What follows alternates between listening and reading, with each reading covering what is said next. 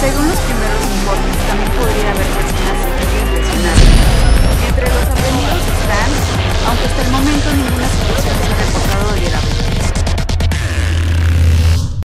parte de la Guerrero, la 200 de la Quintana Roo y la segunda parte un 80% de avance. ¿Para dónde van las obras ahora? ¿Qué sigue? Eh, la Quintana Roo le faltan algunos detalles, eh, todavía le falta el pintado, hay dos o tres bocacalles que, que hay que hacer un arreglo. Se hizo eh, lo, lo que, lo que los ingenieros determinaron que se necesitaba para salir el agua, pero hay unos, unos movimientos ahí pronunciados que se van a arreglar. Nomás estamos esperando a que pase el evento este que tiene muchísima gente aquí en Ciudad Obregón. Eh, vienen los semáforos también para la Miguel Alemán. Prácticamente vamos a dejar en muy buenas condiciones esa calle.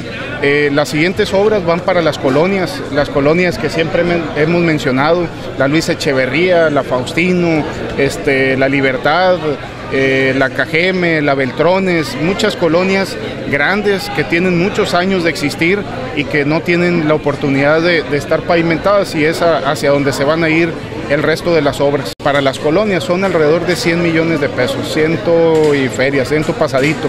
No tengo el número exacto ahorita, pero, pero sí son pasados de 100 millones de pesos que se van a ir a las colonias, que van a pavimentar mucho. Pues, Y no nomás es el pavimento, sino es el drenaje, agua y pavimentación. Viene la estructura completa para que la gente en esas colonias pues ya no batalle por los próximos 40, 50 años. Viene el recurso propio del crédito que prácticamente va hacia las áreas rurales. Ya estamos empezando algunas obras, este, ya se están licitando y creo que en estos días vamos a empezar a soltar muchas de esas obras.